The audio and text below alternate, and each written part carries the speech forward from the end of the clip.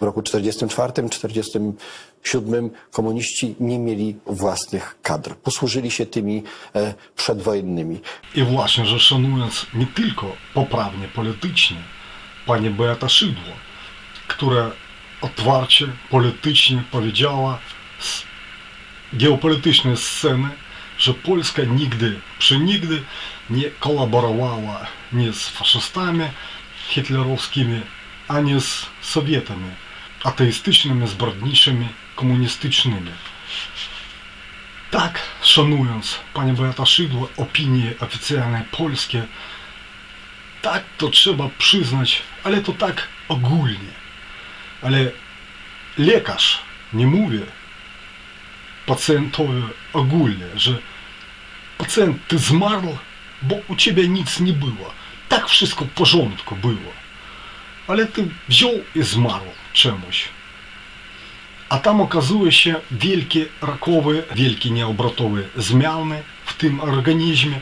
I dlatego my jako polityczni, można powiedzieć, lekarze, możemy powiedzieć tak otwarcie między sobą, że Polska wtedy, w czasy Mościckiego, Geringa, była faszystowska w stosunku do małych narodowości, a włącznie ci, którzy zawsze przeszkadzali Polsce na jej, jak ona rachowała, jak ona liczyła, kresach wschodnich. To były właśnie Ukraińcy.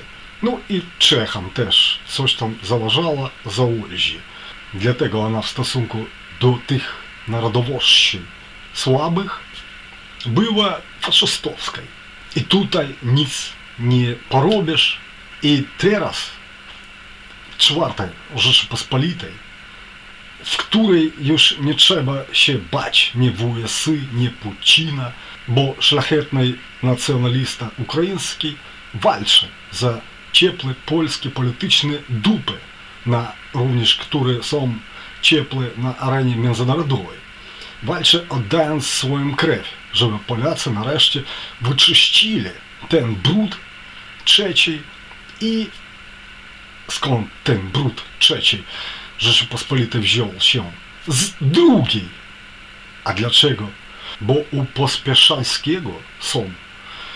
Dzisiaj ja słyszę, swoim uszom nie wierzę, że komuchy, komuniści po II wojnie światowej brali sędziami wyłącznie stare kadry, bo swoich takowych nie mieli. Z drugiej Rzeczypospolitej. Zastanowimy się, co stało się w Polsce kilka miesięcy temu. Posługując się jednym maleńkim przykładem wydarzenia z Pomorza, gdzie w jednym z miasteczek zmarł sędzia stalinowski. Jesteśmy świadkami, kiedy środowisko sędziowskie z tego miasta zamieszcza nekrolog oddający hołd, szacunek zmarłemu sędziemu. To oznacza, że w realiach 2017 roku w Polsce możemy dostrzec sytuację, kiedy związek środowiskowy, powiązania środowiska sędziowskiego ze środowiskiem stalinowskim ciągle są dzisiaj ważniejsze niż zwyczajna przyzwoitość i uczciwość. W roku 1944-1947 komuniści nie mieli własnych kadr. Posłużyli się tymi e, przedwojennymi ludźmi słabymi, ludźmi, których e, wprowadzono w struktury e, władzy sądowniczej. Jednocześnie stworzono podstawy nowego komunistycznego wymiaru sprawiedliwości poprzez y, nowy system szkoleń. To jest szkoła duracza z jednej strony, z drugiej oficerska szkoła prawnicza. Po przeszkoleniu na tych kursach prawniczych komuniści uzyskiwali nowe kadry, ludzi oddanych im w sposób y, całkowity. Ludzi, którzy tak naprawdę jeszcze do lat 90. znajdowali się w polskim wymiarze sprawiedliwości. W latach 44 do 56 w Polsce to właśnie ta kadra sądownicza orzekła ponad 8 tysięcy w połowie wykonanych wyroków śmierci. Liczba orzeczonych po wojnie wyroków śmierci wobec żołnierzy wyklętych, wobec osób, które walczyły o naszą niepodległość, była wielokrotnie wyższa niż liczba orzeczonych wyroków śmierci wobec zbrodniarzy niemieckich. Ci, którzy wówczas mordowali, potem przez bardzo wiele lat w sposób świadomy, zaplanowany, realizowany z pełną premedytacją, zacierali ślady po miejscach, gdzie ukrywano szczątki naszych bohaterów. I nie było nigdy dotychczas sytuacji, kiedy ci, którzy wydawali wyroki śmierci, którzy ci, którzy żądali kar śmierci, ale też ci, którzy przesłuchiwali, którzy maltretowali naszych bohaterów, wyrywali paznokcie, umieszczali ich w karcerach, pozbawiali ich y, żywności i stosowali najbardziej wobec nich wymyślne metody śledcze. Żeby przeprosili za to, co wówczas uczynili, żeby przyznali się do popełnionych wówczas zbrodni, żeby nawet anonimowo zechcieli ujawnić miejsca, gdzie ukrywali szczątki naszych bohaterów. Tak się nie stało dotychczas. Sąd Najwyższy e, bardzo często podkreśla swoją ciągłość ze sądem e, PRL-u. Sąd III RP i sąd PRL po- pozornie nie powinny mieć nic wspólnego. Przecież w deklaracjach, w uchwałach i w przepisach różnych istnieje e, oderwanie się od systemu komunistycznego. My się odcinamy od niego. Co innego jest później w, praktyce. W praktyce e, e, e, Rzecznik Sądu Najwyższego mówi, że mm, e, w Sądzie Najwyższym e, tak dobrano e, sędziów, aby zachować pewien, pewną ciągłość. E, To zostało powypowiedziane w 2016 roku. Ci sędziowie, e, choć młodzi nie- nieraz, są klonami sędziów e, swoich nauczycieli, którzy już bezpośrednio mieli związ związki z komuną, byli prezesami sądów, byli wysokimi sędziami w, PRL-u, w stanie wojennym wydawali wyroki, w, osądzili w sprawach doraźnych. Horror, to znaczy, będąc drugiej, drugą Rzeczą Pospolitą, Polska jednocześnie w serce była byle kim.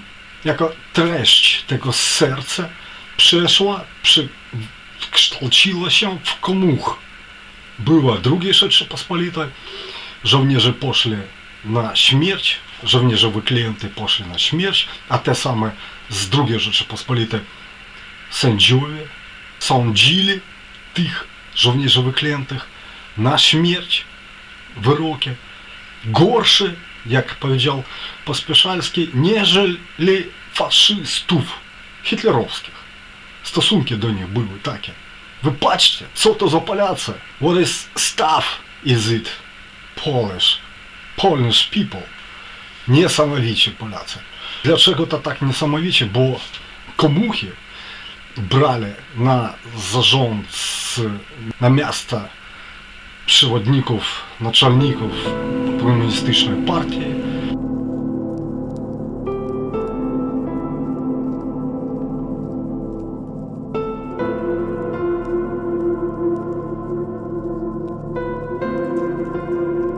Wyłącznie ludzi, w ogóle baranów z gór.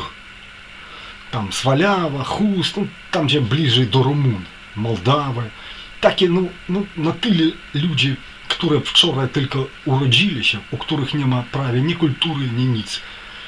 Nie wisieli, nie wisieli portrety nie Batarego, nie Piłsudskiego, ani Bogdana Chmielnickiego, Szewczenko. Nie, to po prostu ludzie taki jako jetti.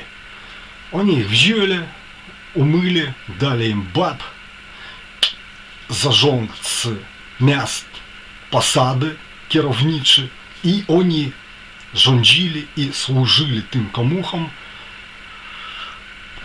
do końca, do każdej komórki swojego ciała, mózgu. Tak oni należeli wszystkim, wszystkim swojej istotom do tych komuch. A w Polsce, patrzcie, sędziowie były te same z drugiej Rzeczypospolitej poszli do trzeciej. Horror. Wtedy takie zapytania, o jakiej takiej nacji tutaj, w tym wypadku chociażby, można mówić i cytować słowa Trumpa, biznesmena, który prawie w tym, no, w ogóle tak nie rozumie, bo on są biznesmen, ale nie żadny geopolityk, żadny. to jego uczą dopiero teraz. Partia to fajny gest wobec Polski. Przyjechał, tak, fajnie, ale jego idea, która gruntuje się na państwach nacjonalnych, narodowych państwach w Unii, że każde państwo ma być narodowe w Unii przeciw Merkel i przeciw Macrona, przeciw tej biurokracji, tej pierdolniętej pedalskiej. To tak, tak, taka są. I żeby każde państwo powstało byciem nacjonalistycznym. Szwedzi, Szwedy, wszyscy, każdy za siebie. Każdy kraj, na ile bogaty, na ile on sam sobie nacjonalist i pierdolę on wszystkich innych. Bo swoja nacja bliżej. To co to za chrześcijaństwo takie? Mędlerowskie. Kurde. A tym samym Rosja robi to samo u siebie. I kto są teraz mocniejszy i chory na głowę, kto może sobie taką psychikę międzynarodową, geopolityczną mieć, taką szaloną? Właśnie, że Rosja, ale nie Polska, która nawet nie potrafi stworzyć tylko dzięki Macierewiczu teraz teroborona.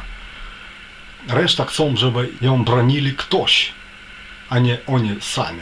A oni sami zapierdalali na zmywarkę niemiecką lub angielską, tam gdzie Polaków sami wiecie, jak kochają. I wychodzi, że wczoraj był Pilsudczyk, sędzia, jutro stał komunistczykiem. Pojutrze przez tam dzieci, tam pokolenia, Wojsysczykiem, Putynowszczykiem, byli jakimszczykiem, tylko nie polszczykiem.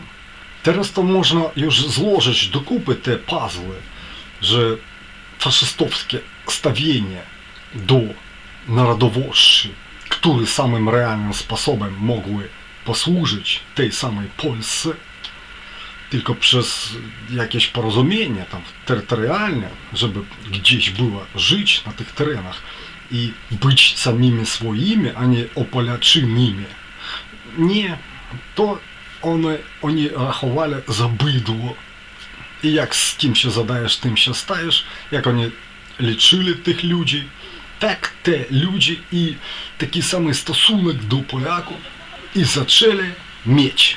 Bo te tereny liczyła, że to 100% jej, chociaż sama była w, w te czasy, w te czasy w Рожберах, ona po prostu, no jak, no nie, zabr, zabrała. No nie to, co tam wkradła, zabrała, od, odwojowała od, od tych nieszczęsnych Ukraińców, którzy latali z parę karabinami i odwojowała i wszyscy wy idźcie do diabła. A tutaj będzie super Polska Rzeczpospolita, bo wy teraz jesteście słaby, póki wy słaby, my odbierzemy u was coś, to będzie nasze, odpierdolcie się, nic nie chcemy wiedzieć, my będziemy polować z Geringiem, żyć jako burżuje, a wy pierdolcie się. To właśnie są nacjonalizm, narodowizm, który rozumiała pod takim pojęciem druga Rzeczypospolita, z której wyszli te same komuchy, które potem tą samą drugą Rzeczypospolitę i zabijali, tępili w krwi bohaterów Polski. I to zamiast tego, żeby razem z Ukraińcami dać odpór najeźdźcom. Nie tą siłę, która może dać, wesprzeć opór najeźdźcom i dla siebie, i dla Polski. Polska miała gdzieś, oto miała gdzieś i przyszła do Polski w 1939 roku, niestety.